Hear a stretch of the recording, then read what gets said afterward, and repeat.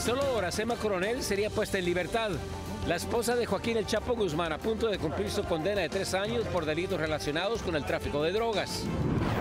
La frontera entre México y Estados Unidos, calificada como la más peligrosa del mundo. Los migrantes que se aventuran a cruzarla tienen altas probabilidades de perder la vida. Más de 5.000 muertes. En tan solo unas horas aumenta dramáticamente el número de víctimas por las inundaciones en Libia. Temen que se descubran más cadáveres conforme bajen las aguas. Arrestan agentes de seguridad en un aeropuerto. En lugar de cuidar que no transportasen objetos peligrosos, se dedicaban a robar lo que podían a los pasajeros. Lo golpean hasta quedar en coma. Un joven deportista es atacado durante un partido de fútbol. Sus familiares piden que los dejen volar para acompañarlo y castiguen a los agresores. Llegan los ovnis al Congreso mexicano. Llevan a cabo una histórica reunión para tratar el tema de los fenómenos aéreos no identificados y podrían tratar de legislar sobre el tema. Así iniciamos cierre de edición. Muy buenas noches, bienvenidos a Cierre de Edición, les informa José Armando Ronstadt. Iniciamos con lo siguiente. Emma Coronel, la esposa de Joaquín El Chapo Guzmán, después de cumplir con su sentencia y pasar unos meses en un centro de reinserción social, va a quedar en libertad este miércoles en Los Ángeles, California. Esto de acuerdo con la Oficina de Prisiones de Estados Unidos. Dayanis López ha seguido muy de cerca este caso. Dayanis.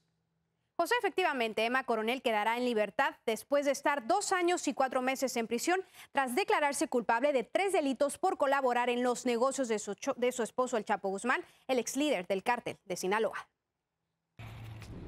Emma Coronel, esposa del Chapo Guzmán, el narcotraficante mexicano, será liberada en Los Ángeles, California, este miércoles 13 de septiembre, tras su arresto en 2021 por cargos de tráfico de drogas me dictaron una sentencia de tres años, pero gente que está condenada a cierto tiempo puede salir más temprano con buen comportamiento y eso es lo que sucedió con Emma.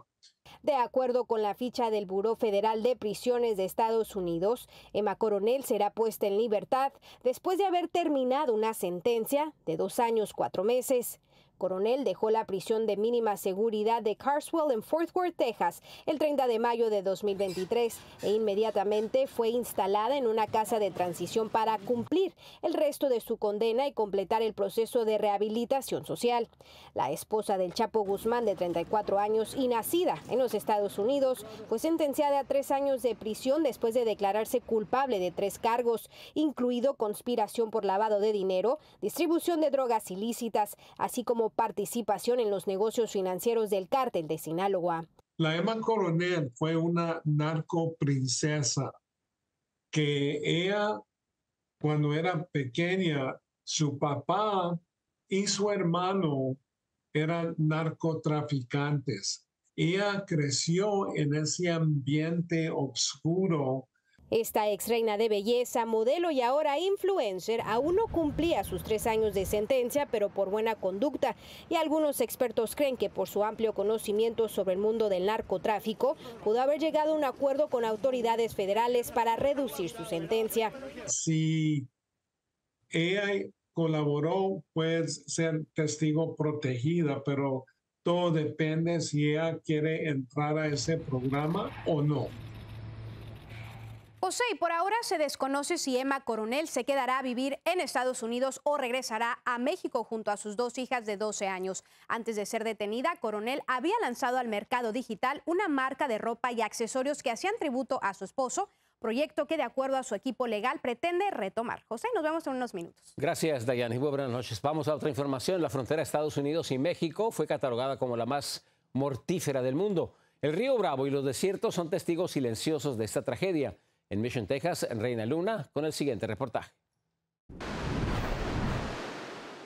Por lo menos 686 muertes de migrantes se registraron en esta frontera entre Estados Unidos y México, considerada hoy por la Organización Internacional para la Migración como la más mortal del mundo. Es algo lamentable cuando es por situaciones que tienen que ser forzados a buscar un mejor porvenir y pierden su vida.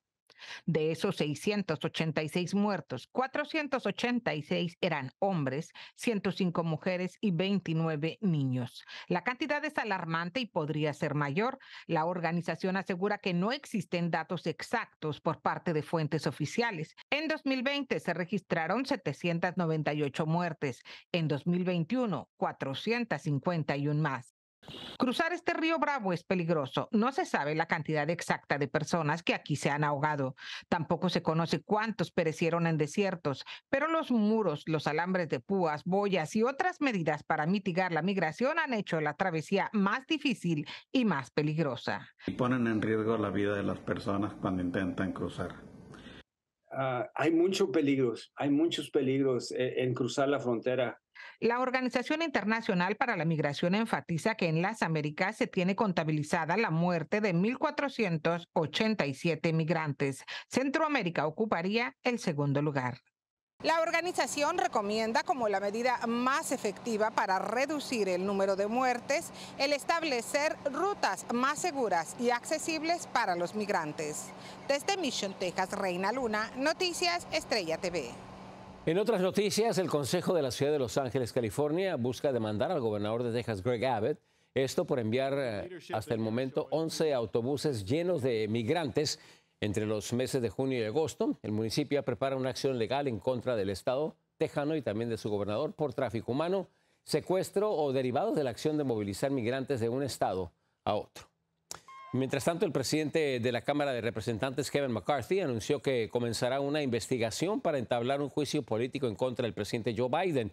Desde Washington, Alfredo Miranda tiene reacciones ante esta propuesta. El presidente de la Cámara de Representantes, Kevin McCarthy, argumentando contar con evidencias de encubrimiento de actividades familiares ilícitas y beneficios económicos, autorizó oficialmente el inicio de una investigación de juicio político contra el presidente Biden. Estas son acusaciones de abuso de poder, obstrucción y corrupción que necesitan una investigación profunda. Por eso hoy estoy autorizando al comité de la Cámara a abrir una investigación formal de juicio político contra el presidente Joe Biden.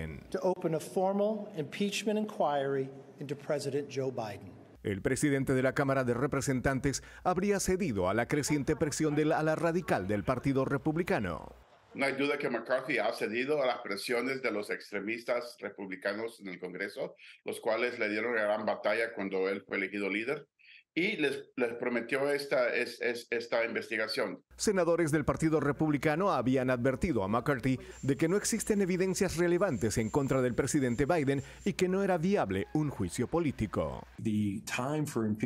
El momento de un juicio político es cuando hay evidencias que vinculen al presidente Biden a un delito grave o delito menor. Eso no existe. Se debe acompañar con los hechos.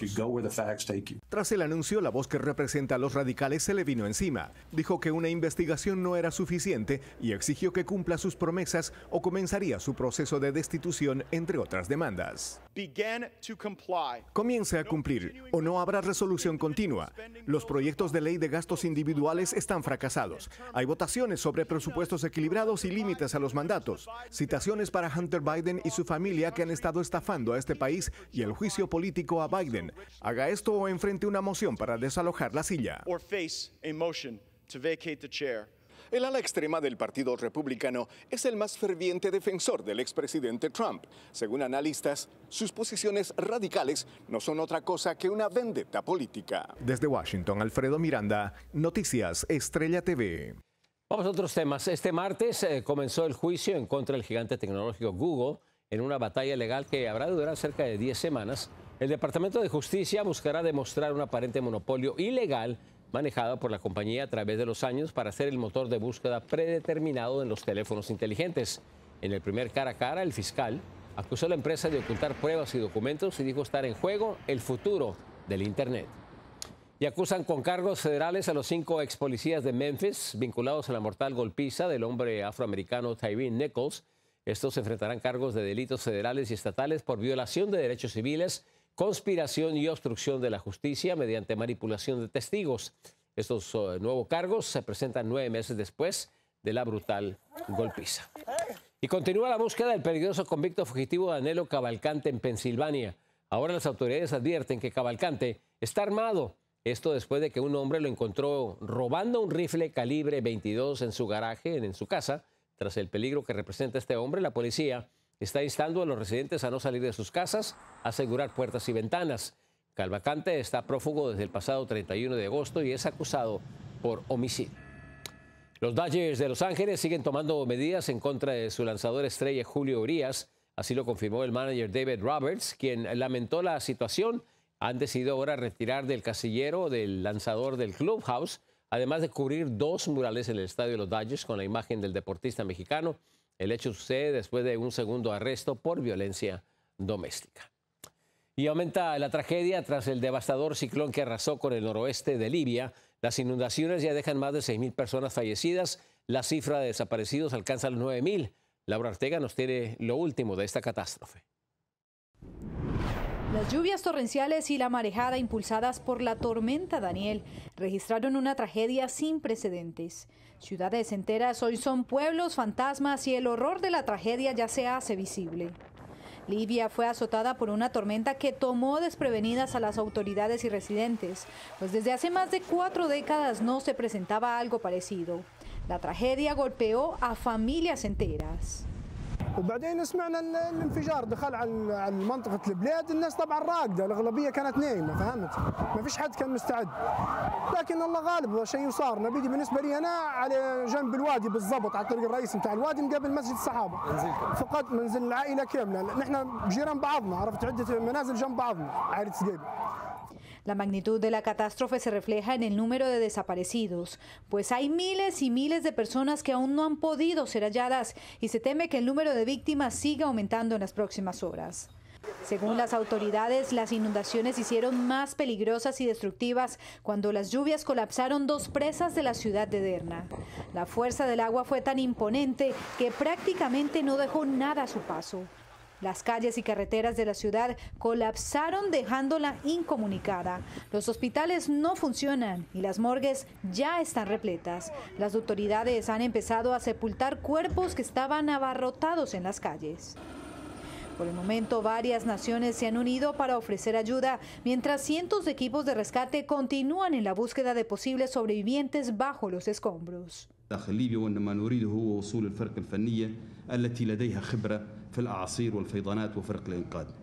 Esta tormenta se ha convertido en una de las más mortales registradas en el norte de África y se suma a un año sin precedentes de desastres climáticos en todo el mundo. Para Noticias Estrella TV, Laura Ortega. Continuamos con más información al regresar de esta pausa. Nueva ola migrante, decenas de personas ya se acampan entre los muros de Tijuana y San Diego y atrapan con las manos en la masa oficiales de un reconocido aeropuerto del país, robando a pasajeros. Y tras la brutal golpiza del equipo rival, un joven futbolista colombiano se debate ahora entre la vida y la muerte. Imágenes y detalles al regresar.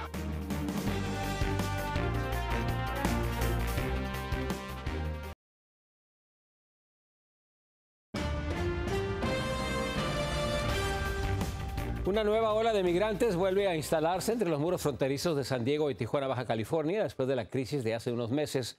La historia se repite. Hoy cientos esperan una oportunidad para ingresar al país. Precisamente en Tijuana se encuentra Vicente Calderón. Nos tiene el siguiente reportaje. Un grupo de personas juega la pelota entre los muros de la frontera Tijuana-San Diego. Son solicitantes de asilo que esperan entregarse a la patrulla fronteriza. Muchos, como este ecuatoriano, arriesgaron su vida para llegar hasta aquí. Mucho muerto en la selva, camino, o sea, trataron mal. Igual que sucedió en mayo pasado, cientos de migrantes cruzan irregularmente y piden asilo. Encontramos un grupo de migrantes de la India que nos dijeron que tenían ya dos días esperando ser procesados. Aún no se ven tantos como antes de que la administración Biden dejara de aplicar el título 42, pero su arribo es constante. Es un crecimiento desmedido de gente que se está aprovechando de los migrantes para engancharlos y convencerlos de cruzar de manera ilegal. Este fin de semana, el grupo Beta, dependiente del Instituto Nacional de Migración de México, rescató a una pareja que se perdió en las montañas después de que los abandonara el guía o coyote, que les cobró más de 4 mil dólares por cruzarlos. Afortunadamente se encontraron a las personas debajo de una, una piedra que les estaba proporcionando eh, eh, sombra y en esa piedra eh, había un pequeño charco del cual ellos mencionaron estuvieron tomando agua. Tanto ahí como en otras zonas reportan también el incremento de gente armada trasladando a los migrantes. Se bajan, muestran las armas y este y pues amenazan a nuestra gente, ¿no? Grupo Beta no va armado, por eso regresaron los militares y otras corporaciones para apoyar en las áreas de cruce. Hicimos un llamado, una alerta por, por el incremento de los cruces irregulares, eh, principalmente la canalización y los cañones que están yendo hacia playas de Tijuana. Realizaron varios operativos binacionales y aunque reportan resultados positivos, reconocen que el peligro está incrementándose. En Tijuana, Vicente Calderón, Noticias Estrella TV. Tremendo escándalo en el aeropuerto de Miami. Tres agentes de la Administración de Seguridad del Transporte fueron captados en video robando dinero de los bolsos de los pasajeros en los controles de seguridad. Los hechos han generado indignación en los viajeros. Anthony Belchi en Miami nos tiene todos los detalles. Es el vídeo de la prueba del delito de tres agentes de TSA del aeropuerto de Miami. En las imágenes se ve cómo los oficiales estarían robando dinero de los pasajeros, hurgando en los bolsos de las cintas mientras la gente pasa por los controles de seguridad. Así pensaban que no iban a levantar sospechas. Es increíble. Terrible. Terrible, muy malo, de verdad.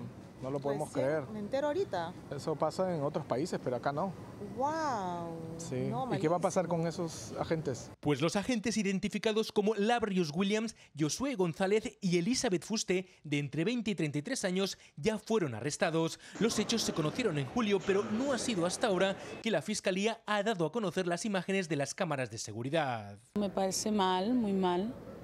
No me parece justo, porque de verdad que Nadie se merece eso. En las imágenes se ve claramente cómo los agentes arrestados toman billeteras y otros objetos personales. Las autoridades aseguran que los tres trabajaban conjuntamente para evitar ser cazados. He hecho viajes por, por varios lados, en Europa inclusive, y, y bueno, todos te dicen lo mismo, que tienes que cuidarte. Los tres han sido acusados de conspiración organizada para defraudar. Dos ya han confesado los hechos ante la justicia. Uno no se puede confiar de nadie. De verdad que en esta época tienes que estar confiando de ti mismo, de nadie más. La Administración de Seguridad en el Transporte, el TSA, ya ha dicho que se toma muy en serio las denuncias del robo. Advierte que los agentes serán responsables de todos sus actos. Desde Miami, Florida, Anthony Belchi, Noticias Estrella TV. Un medicamento presente en los descongestionantes más vendidos del país al parecer no funciona para aliviar la congestión nasal. El panel de asesores de la Administración de Alimentos y Medicamentos concluyó que la fenilefrina, que está presente en la mayoría de remedios orales para el resfriado, son ineficaces. Ahora la FDA decidirá si revoca la designación de venta libre a productos con este ingrediente y eliminarlos de todas las farmacias. Un ciberataque apagó los sistemas informáticos de varios hoteles lujosos en Las Vegas, Nevada. El FBI se encuentra investigando el incidente que afectó las habitaciones de los hoteles y casinos de la cadena NGM Resorts International. De hecho, cientos de huéspedes no pudieron cerrar sus habitaciones por las llaves digitales de sus cuartos no funcionaban. Por ahora el sitio web del conglomerado no se encuentra disponible para reservaciones. Y en México, un joven futbolista de Colombia de 22 años se debate entre la vida y la muerte después de ser brutalmente agredido por miembros de un equipo rival. La madre del joven ahora clama justicia. En Bogotá, Carolina Gómez nos tiene más detalles. Pido justicia, justicia a las autoridades mexicanas que me ayuden aquí en mi país. Soy una mujer colombiana que le ha servido al país. Por favor, ayúdenme. Este es el clamor de Ana Jacqueline Salas, la madre del futbolista Ander Salas, un joven colombiano de 22 años, oriundo de La Guajira, que entró en estado de coma tras ser atacado durante un partido por miembros del equipo rival en Texcoco, México. Varios jóvenes agredieron contra su vida, lo maltrataron, lo golpearon brutalmente, donde me lo dejaron en coma. Que me ayuden, no he podido ir a verlo, soy una madre de escasos recursos económicos. Afirma que él llegó a México siguiendo su pasión de ser futbolista profesional, pero en un encuentro aficionado, al celebrar un gol que anotó, a sus contrincantes no les gustó su forma de celebrar y literalmente le cayeron a golpes, casi 10 contra 1, sin que lo apoyaran sus compañeros, según testigos. Él se fue con un sueño hace cinco años a ser un futbolista profesional donde allá no tiene familia, no tiene a nadie, es un joven sano, lleno de ilusiones y lleno de sueños. Clama sobre todo porque le expidan el pasaporte y porque los agresores paguen lo que le hicieron a su hijo. Estoy desesperada, necesito salir del país a recoger a mi hijo, a buscar a mi hijo y pido justicia para todos aquellos agresores que se atrevieron a maltratarlo como si fuera un animal. Es que a un animal no se le hace lo que ellos le hicieron a mi hijo. Varios equipos de las divisiones inferiores habían estado interesados en el talento deportivo de Ander. Ahora quienes lo conocen pide que le gane el partido al estado de salud crítico en el que permanece. En Bogotá, Colombia, Carolina Gómez para Noticias, Estrella TV. En otras noticias sigue la tensión en Guatemala. Este martes la Fiscalía allanó el Tribunal Supremo Electoral en un acto sin precedentes Agentes de la Policía y Fiscalía abrieron 160 cajas que contenían boletas y actas electorales de las pasadas elecciones. Según el fiscal Rafael Curruchiche, el allanamiento se dio debido a una denuncia ciudadana por supuestas anomalías en la primera vuelta. Una pequeña pausa, regresamos con más noticias. Sigan con nosotros. Barbie estrena una nueva muñeca y tiene mucho azúcar, ya le contamos. Y los ovnis invaden el Congreso de México, buscan una legislación sobre este tema extraterrestres. ¿Será? Y sin descanso alguno, un hombre se propasa con una reportera en vivo. Tenemos las imágenes y los detalles. Ahí está.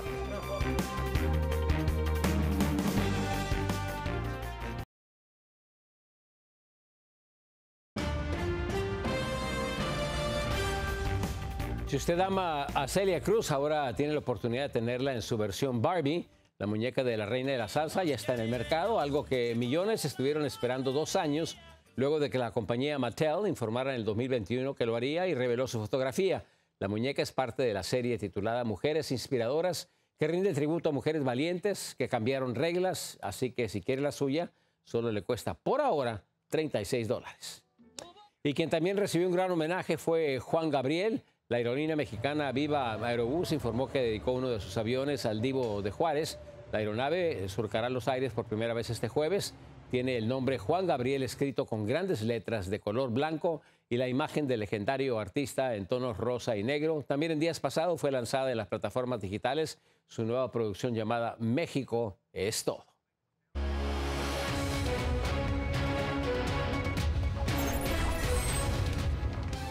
A continuación le presentamos las cinco noticias más importantes en su diario Conteo Informativo. Número 5 el día de hoy. La libertad de Emma Coronel. Después de una sentencia de tres años, la esposa del narcotraficante Joaquín El Chapo Guzmán saldría libre el día de mañana. La información fue confirmada por el Buró Federal de Prisiones de Estados Unidos. Actualmente se encuentra en una casa de transición en el sur de California, donde sería liberada en las próximas horas.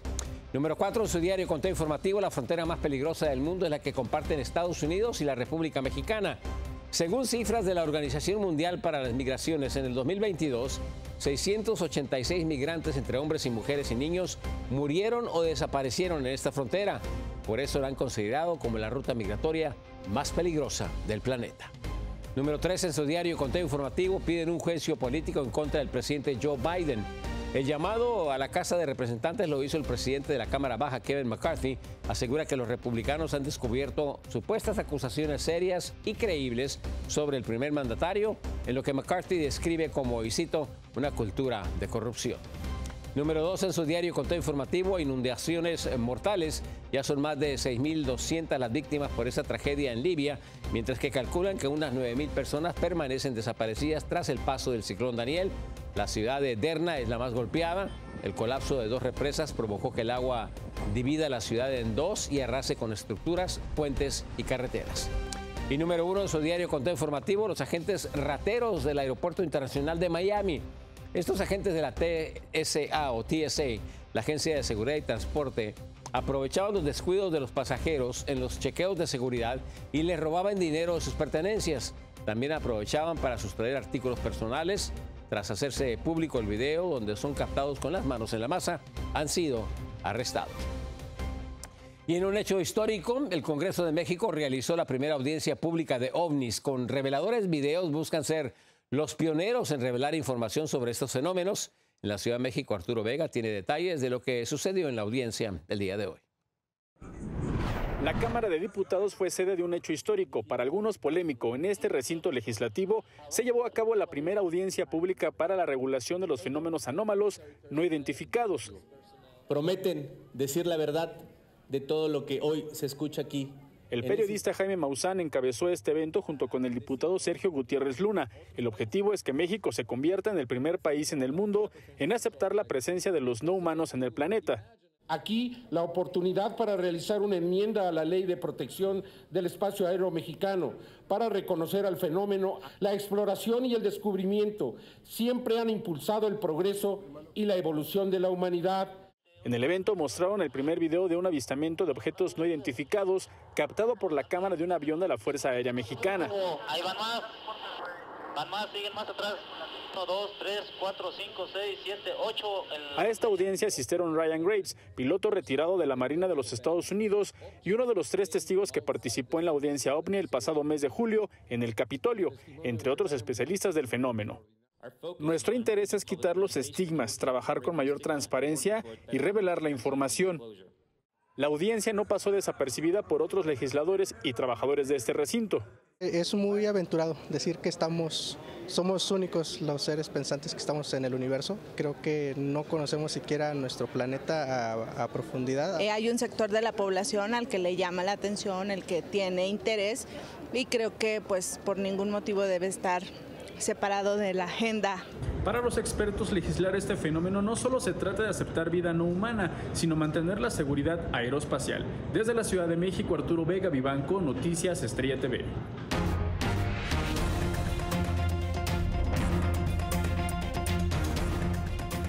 Oye, en frente a frente, para hablar sobre la legislación de, sobre los fenómenos ovnis, nos acompaña el investigador y divulgador científico Fernando Correa, que ya está con nosotros y precisamente está en el pleno de la Cámara de Diputados, ¿así es?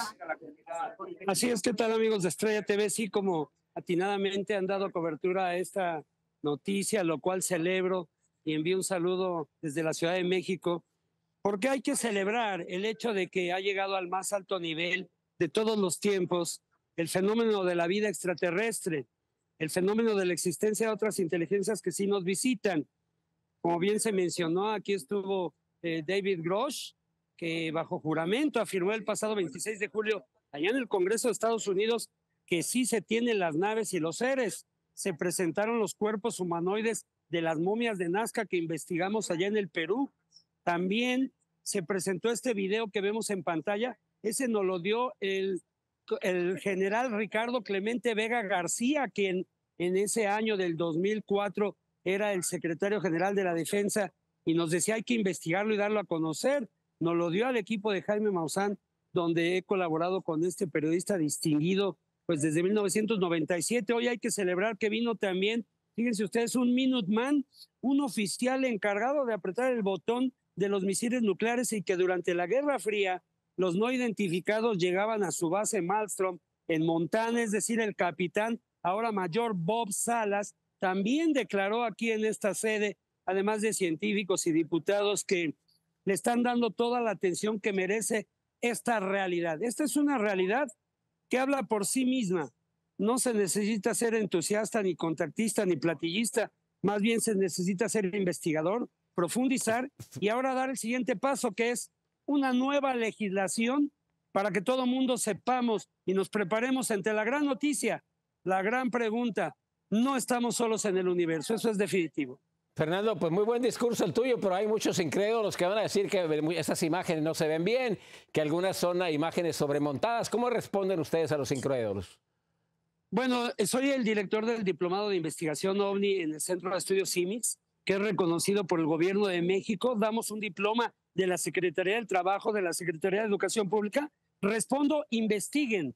No le hagan al clarevidente de que a distancia quieran descartar las evidencias. Nosotros en este módulo ya implementamos la inteligencia artificial para desmentir los videos o bien para confirmarlos. Sí hay intentos de engaños, sí hay equivocaciones, pero nuestra intención es decir la verdad. Si a mí me demuestran que estos videos son falsos, lo digo.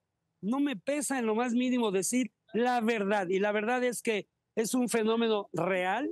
Sí nos han visitado desde tiempos inmemoriales y nos siguen visitando. ¿Qué le podríamos decir a un piloto que va a bordo de un avión con cientos de personas a su cargo y que choca contra estas esferas como las que fueron presentadas aquí a un controlador aéreo, ¿a quién se le va a echar la culpa si hay un incidente como ya los ha habido con trenes de aterrizajes, etcétera? Es decir, esto va más allá de los escépticos y de los incrédulos. Este es el tema de la vida en el universo. Fernando, ¿usted ha tenido alguna experiencia personal acerca de estos objetos? Desde luego que sí, desde luego que sí. existen encuentros de primero, segundo, tercero y quinto tipo. Nosotros hemos tenido encuentros cercanos del segundo tipo, es decir, donde están con nosotros, donde pasan cientos de esferas arriba de donde hacemos los campamentos astronómicos de observación y reconocimiento, estas vigilancias, y los videos hablan por sí mismos. Así que definitivamente esto va más allá de nuestra propia imaginación. Esto es algo más profundo y más grande que nosotros. Y aún hay mucho por hacer, ¿no, Fernando? Todo por hacer. Ahí, aquí lo que hay que celebrar es, como decías, que, bueno, aquí los medios de comunicación le han dado una apertura muy importante a todo este tema y nosotros estamos de plácemes que vinieron de la Argentina, de Japón, que vinieron desde Perú y desde luego lo que hay que hacer es abrir la mente e investigar. Muy bien. Porque la gente que descalifica sin hacerlo, pues yo en los clarevidentes no les creo aunque tengan las máximas credenciales científicas. Hay que investigar. Muy, muy bien, muchísimas gracias. ¿eh? Esperemos que todo esto dé buenos resultados y eventualmente a los incrédulos, pues que logren convencerlos. Muy, muchas gracias por tu participación el día de hoy. Muchas gracias, hasta siempre. Muy bien. En contacto. Vamos a otras cosas. El astronauta de origen salvadoreño Frank Rubio implantó ayer un récord estadounidense al permanecer en el espacio más de 355 días. Rubio llegó con dos rusos a la Estación Espacial Internacional en septiembre del 2022 para una permanencia de rutina de seis meses, pero una pérdida del refrigerante en la cápsula Soyuz prolongó su estadía y ahora volverá a la Tierra el 27 de septiembre cuando habrá pasado 371 días en el espacio. Rusia, por cierto, tiene el récord mundial de 437 días en el espacio. Una breve pausa, regresamos con más a cierre de edición. Un joven guatemalteco busca inspirar a muchos a través de su arte terapia. Al regresar le contamos de qué se trata. Y se agotan las esperanzas de encontrar sobrevivientes en Marruecos. La cifra de muertos es alarmante. Y acosan a la periodista española en plena transmisión en vivo. El descarado abusador intentó darse a la fuga. Le diremos cómo terminó. Bueno,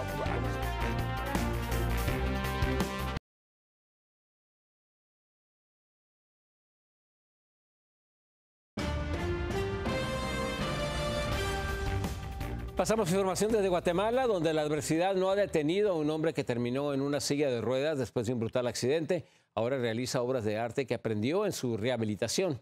En Guatemala, José Flores nos cuenta su historia.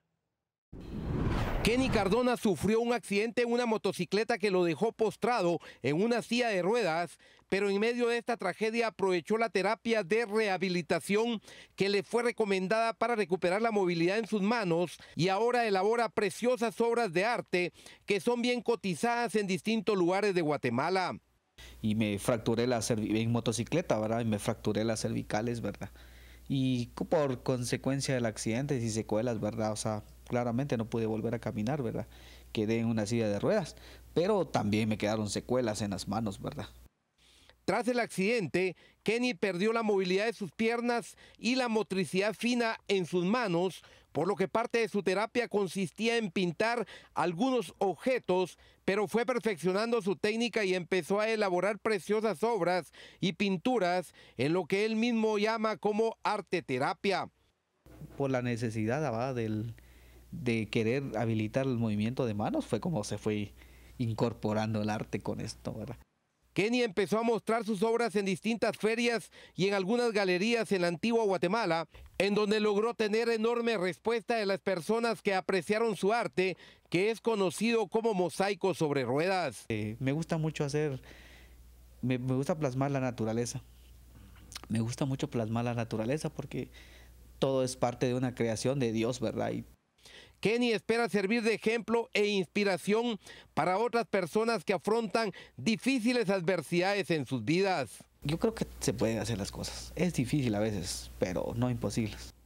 El mayor sueño de Kenny es presentar sus obras en una galería internacional, por lo que está dispuesto a seguir esforzándose al máximo para lograr ese objetivo. En Guatemala, José Flores, Noticias Estrella TV.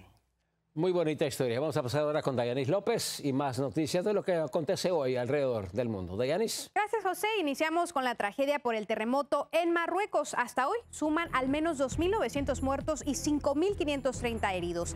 La región de Al-Haus fue la más castigada porque se localiza cerca de donde fue el epicentro. Solo ahí se reportan 1.643 fallecidos, informó el ministro de Interior, que también señaló que casi todas las víctimas, 2.000 884 eh, ya fueron enterradas. En Rusia, una tragedia estuvo a punto de ocurrir cuando un avión de la aerolínea Ural tuvo que aterrizar de emergencia. La aeronave que viajaba de Sochi a Omsk con 160 pasajeros sufrió un desperfecto en su sistema y se vio obligado a descender en el aeropuerto de Novosibirsk. El piloto eh, decidió aterrizar ahí para usar su pista más larga, pero eh, como el aparato se quedó sin gasolina, tuvo que hacerlo en un campo. Por suerte, no se reportan heridos. En Italia llegaron a la isla de Lampedusa más de 2.470 inmigrantes del norte de África y los Balcanes en solo 24 horas. En lo que va de este año han arribado a ese país más de 107.000 personas, un enorme aumento comparado a las cerca de 53.000 que lo hicieron en el mismo periodo del 2022. El marcado incremento se debe a la llegada de menores no acompañados que hacen el peligroso viaje. Y un hombre fue arrestado hoy en Madrid, España, por haberle tocado el trasero a una periodista que daba su reporte en vivo. El sujeto se acercó por detrás a Isa Balado del Canal 4 de televisión y sin decir palabra la toca. Cuando ella quiso proseguir, proseguir con su cobertura, un, un colega en el estudio le preguntó que si el hombre le acababa de tocar el trasero. Ella le dijo que sí y enseguida lo confrontó.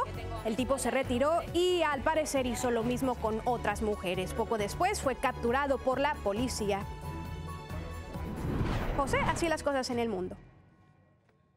Vamos a otras cosas. Buenas noches. Buenas noches. Una breve pausa. Regresamos con más a cierre de edición. Una competencia de resistencia bajo el agua por poco termina trágicamente, pero un niño se convierte en héroe. Y dan a conocer la indignante grabación de un agente de policía. Sus burlas son despiadadas. Y la compañía Apple estrena un nuevo iPhone. Le contamos cuál es la novedad de estos famosos teléfonos inteligentes al regresar.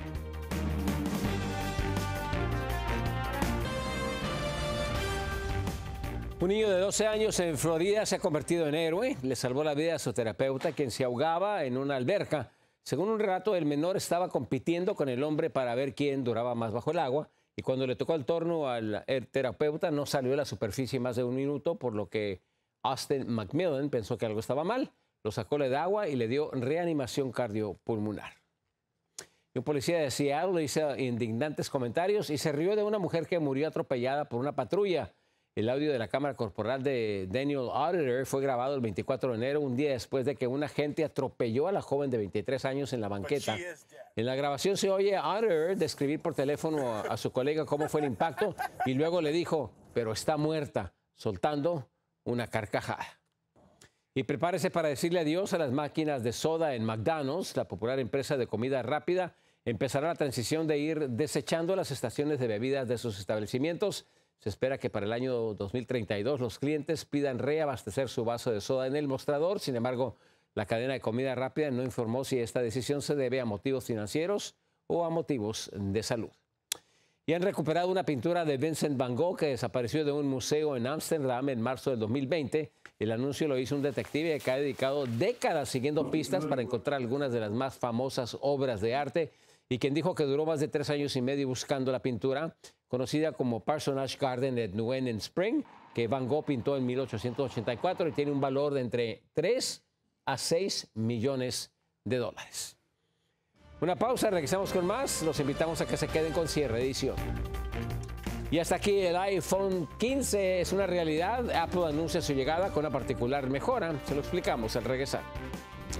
Y el volcán Kilauea vuelve a rugir. Científicos examinan qué hay detrás de esta nueva actividad volcánica. Las imágenes impresionantes.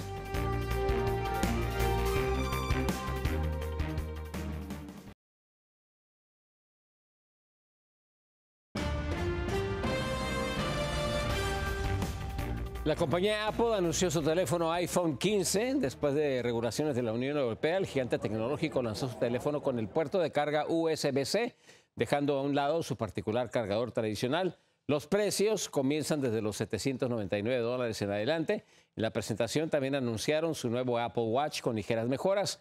Ambos estarán disponibles a partir del 22 de septiembre. Y la erupción del volcán Kilauea en Hawái llevó a científicos a las cercanías para recolectar ejemplos de lava. El volcán hizo erupción el domingo pasado y lanzó ríos de fuego sobre los alrededores de su cráter. La Agencia de Manejo de Emergencia de Hawái advirtió que las partículas volcánicas y los gases emanados podrían causar problemas respiratorios. Gracias por acompañarnos. Muy buenas noches. Yo soy José Armando Ronstadt.